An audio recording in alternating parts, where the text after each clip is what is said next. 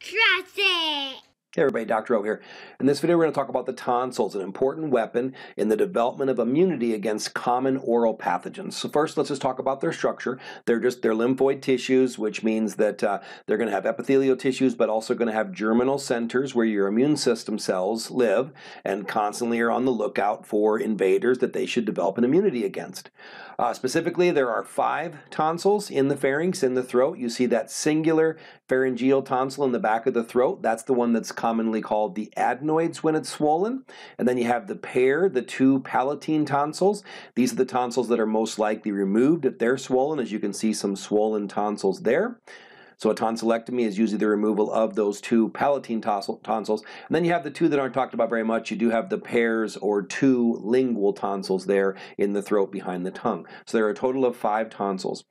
Um, swollen tonsils can be a serious problem. They can impact breathing. They may have to be removed because of an impact on breathing and these types of things. But swollen tonsils are actually a sign of them doing their job. They're activating an immune response against oral pathogens they were exposed to, either from food or from um, the air.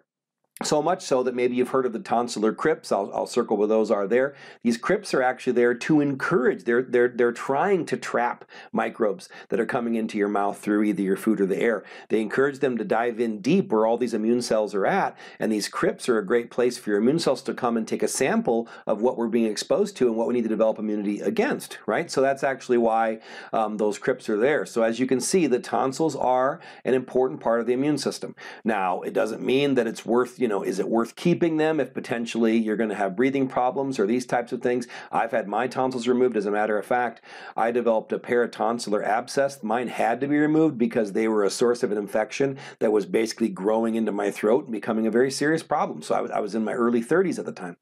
But um, when you're young, so swollen tonsils can certainly be a problem, but it is actually a sign that they're doing their job. They're helping you develop an immunity for later life. But if they're a problem now, they may have to go. Um, in the future, we may start to see ways to deal with swollen tonsils that don't involve physically removing them. I'm, I'm kind of intrigued by that. One thing is that um, the bacteria, let's say strep, if they if they're causing you to continually have these swollen, swollen palatine tonsils, are there ways to remove the source of the infection, the strep, without removing the tonsils? We'll see. Because I think one of the reasons that removing your tonsils can help you stop getting strep throat is the fact that you're physically removing this source of infection, which was a gross biofilm on the tonsils. So perhaps can we get rid of the biofilm, get rid of the organisms, and spare the tonsils? We'll see.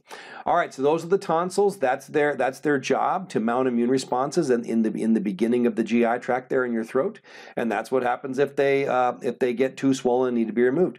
I hope that helps. Have a wonderful day. Be blessed.